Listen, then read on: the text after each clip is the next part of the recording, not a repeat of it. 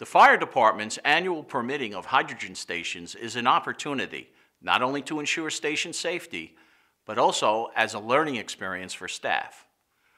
Departments with CNG, LNG, or widespread industrial gas experience would be most confident in this regard. However, with determination and a commitment to mastering the challenge of hydrogen automotive fuel, its benefits can be made safely available to our communities. The renewal of the operational permit for a vehicle fueling station involves an inspection of the premises. The inspection is not as comprehensive as the commissioning of a new station. However, this site visit must confirm that critical components are functioning or have been maintained in accordance with requirements. The fire service is the primary regulator over the station's ongoing operations. Building departments would be involved only if there is new construction or severe deficiency of existing systems or station construction features. Fueling stations share common safety features, such as fire extinguishers, emergency stop switches, warning placards, and dispenser protection. Hydrogen stations have much in common with CNG, LNG fueling facilities. This is to be expected as both dispense fuel at a very high pressure or at a very low temperature. Hydrogen's unique characteristics as a non-odorized gas having a modest ignited visual signature require, in some respects, a distinctive safety approach.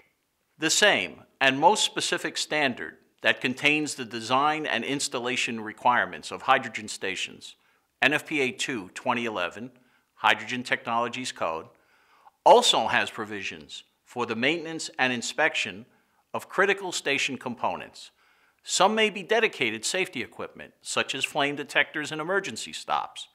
Others may be functional components, such as nozzles, hoses, pressure relief devices, vents, and monitoring panels.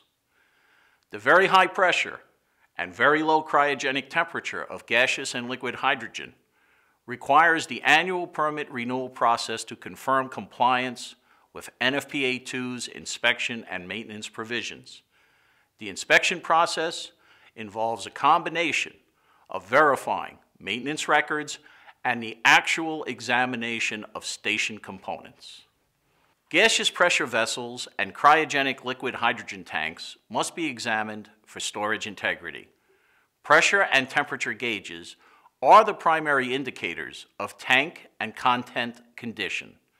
If another agency has specific jurisdiction over tank maintenance, the station's records must include such documentation. Pressure relief valves should be examined and the required tagging reviewed.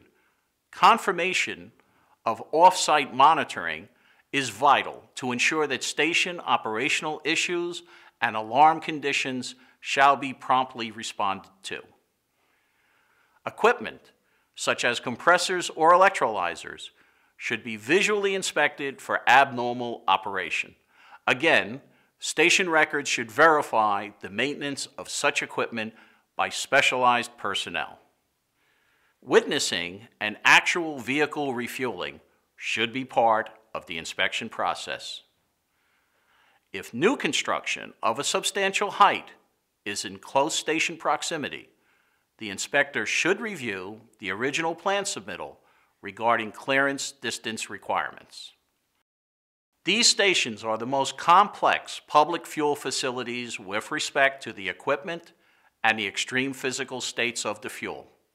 However, after considering state-of-the-art manufacturing and quality assurance, sophisticated monitoring and controls, multiple independent safeguards, and proper maintenance, there is no reason to believe that these stations cannot be operated safely and used by the general public.